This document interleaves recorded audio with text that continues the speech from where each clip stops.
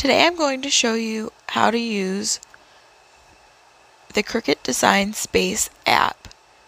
I'm going to show you how to use the slice option whilst making an iron-on decal for a toddler boy's shirt. So to start, you're going to click a new project, and then we are going to find the image we downloaded to our phone which is going to be this B today. And then you'll click the like magic wand to max out all of the white and just click the whites. Or in the case of the image you're using, whatever colors you don't want. So I just wanted to keep all of the black lines. Then we'll click next and we'll just name it.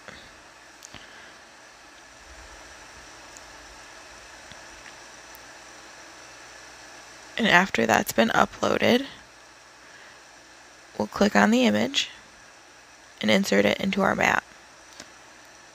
Because this is for a toddler shirt, I'm going to make it about six inches wide, which will automatically make it four and a half inches tall. And I'm just going to move it up, zoom in a little bit, add a text box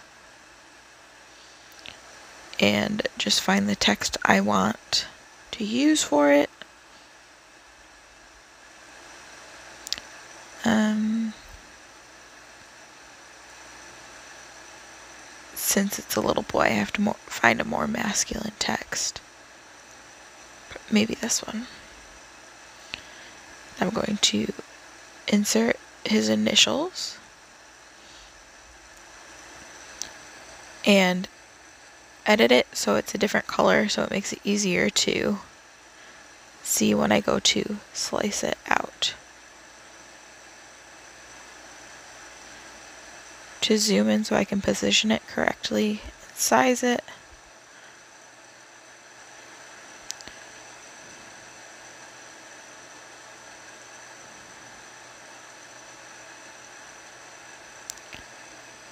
And I think that's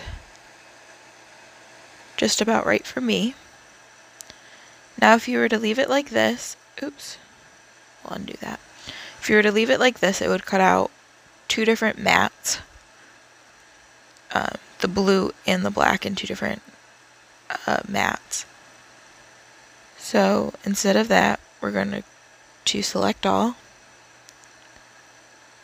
We're going to go to actions and we are going to slice out the letters.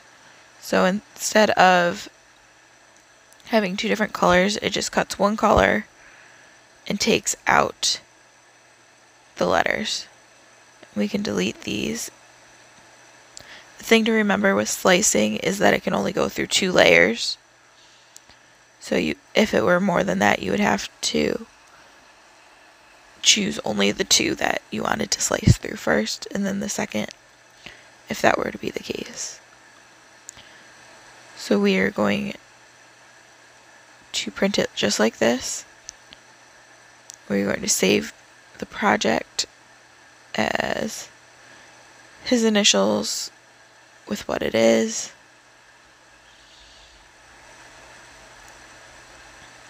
And it's going to save.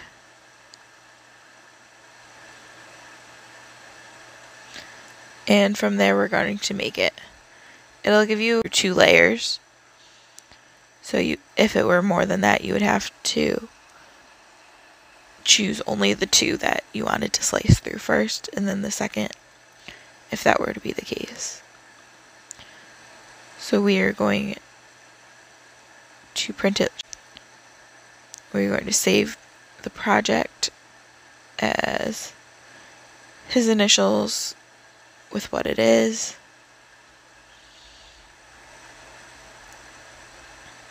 And it's going to save.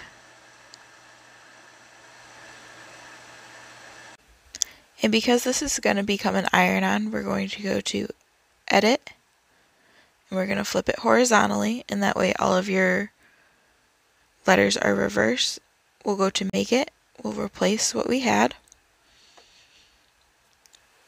if you wish to move it, like you're using a scrap piece of vinyl, or in this case iron on, you can move it to wherever you need it to be. But we'll continue. It says make sure it's mirrored. I'm not entirely sure how to mirror something in the app. So that is why we flipped it horizontally before we came to the printing. So then we go, we have our setting turned to iron on. You can also go to custom setting and click whatever you have on your favorites or look up all materials. In this case, we're using iron on. Oops.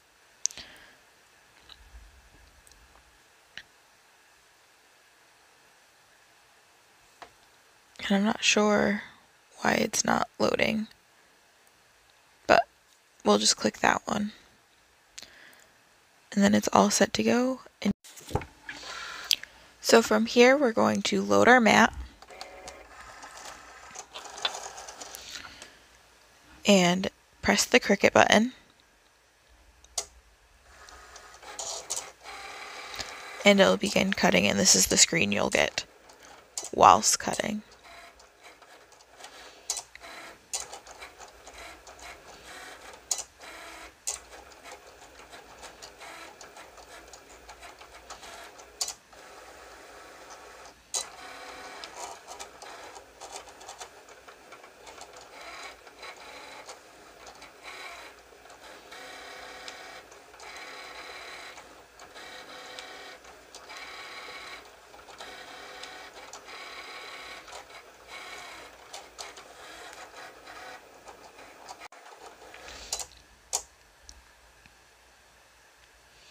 When it's done cutting, it'll ask you to unload your mat.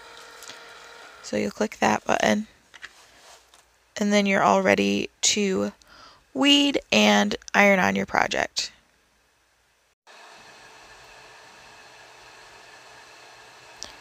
Thank you so much for watching, and I'll definitely dig deeper into the Cricut Design Space app on your phone because I know it's really hard to find videos that just show you the phone options. So I'll see you next time. Bye.